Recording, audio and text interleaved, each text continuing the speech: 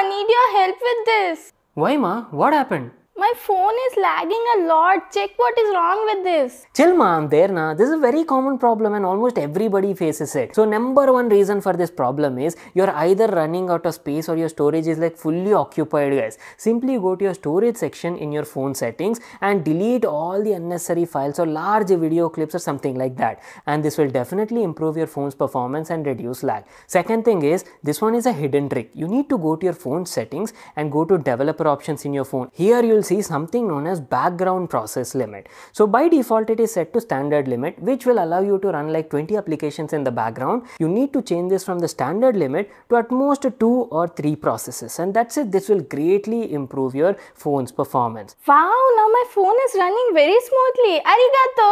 So guys, if you like the tip, do follow and subscribe to our channel. That's the bell.